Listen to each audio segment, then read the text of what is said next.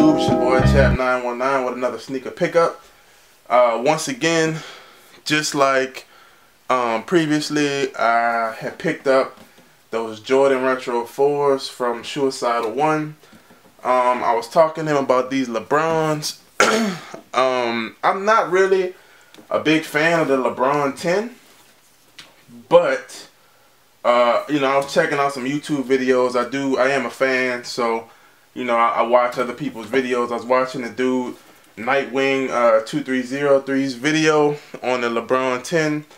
I'm kind of like a little uh, slight ball player on my off days. You know what I'm saying? And, you know, dude said that these were really amazing basketball shoe, was very comfortable and whatnot.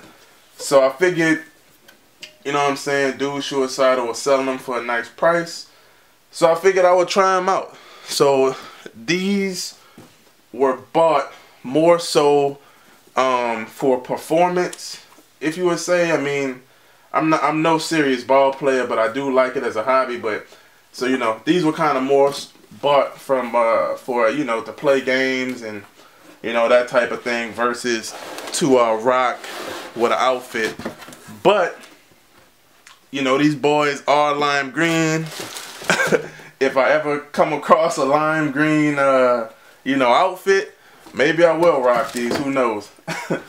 but I definitely uh, don't see it. I'm not really that wild of a color guy. You know, I, I like shoes that draw attention to your feet, but these are like, you know, pickle green, lime, guacamole green, and uh, you know, they are nice, and I hope uh, more so that they'll be great for the performance versus to rock. So it looked like dude copped these from Champs from looking at the tag. Um, also looking at Nightwing video, guy said that they run a bit big. I mean a bit small I should say.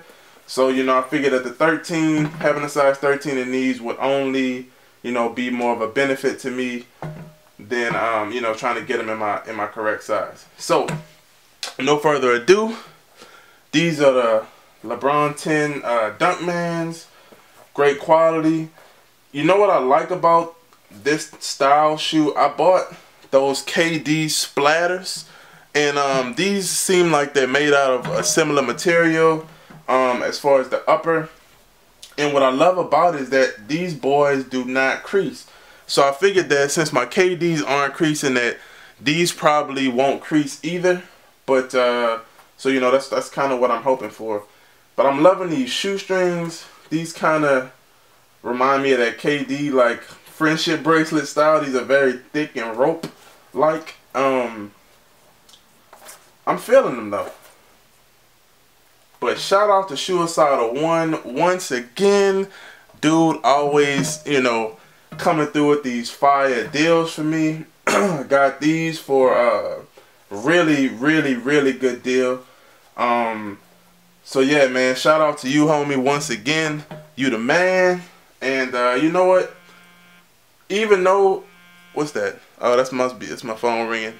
Y'all uh, just disregard that little buzzing in the back if y'all can hear that. But anyways, um, yeah, I'm gonna do these on feet. Um, but yeah, man, these are what's up. Peace. Thanks once again, homie.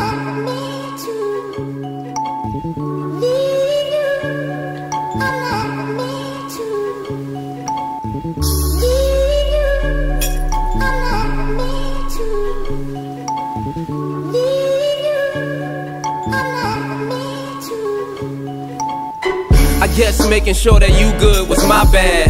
I kinda thought you had the same feelings I had and you helped sell it like a fly ad. But you was macking at the house, iPad. Not mad, but there's a few disappointments. Let's just say that I canceled on a few appointments. I blew paper with you, not a joint, bitch. I say bitch when I'm trying to make a point, bitch. Other times, I call it how I see it. I won't give you the title if you don't know how to be it. Which proves I love it when the shit's smooth. But show your ass to your nigga, that's a bitch move.